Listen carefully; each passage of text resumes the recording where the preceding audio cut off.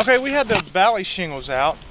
Um, and the first thing that jumps out to me is the width of the copper where it crosses the valley. It should come at least 14 inches. I mean 12 at the minimum. Um, you should also never nail within six inches or a hand of a valley. And what you see is you've got a zip screw here. Um, you've got a, a regular roofing nail there, which is not good with copper. If it ever gets moist, it'll produce an electric current and it'll, you know, erode this. Um, also down here at the bottom of this valley, they should have ran this shingle underneath this as well. Uh, because if we ever get a really downpour like Hurricane Sandy, um, what'll happen is water can run past this and if it gets to this corner, it'll run in.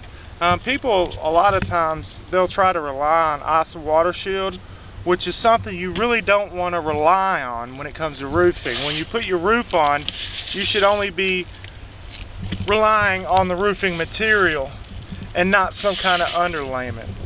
Um, they also did not solder this seam. Um, I don't know what they did with this corner. It looks like they probably turned that corner right. I'm not sure what they did here. But we're going to take this cricket out and we're going to refabricate a new one. Um, and we're going to bring it past to where it should go. We're going to run the shingles underneath where they should be as well. Um, not only that, we're also going to solder this joint. Um, and then, you know, we'll take a look at these step flashers. There's probably a good chance I'll have to uh, replace these step flashers because if you can see these shingles buckling up, you really don't want that to happen because the tips of the of the copper underneath, they'll poke through these shingles eventually. Um, so we'll probably wind up taking all of them out. Um, I'm going to point another thing out to you. Yeah, what I really don't like when it comes to uh, some types of roofing is, is when guys bury their pans. Um, if they had a pan here and they cleated it down, there's no, there would be no way for water to get in.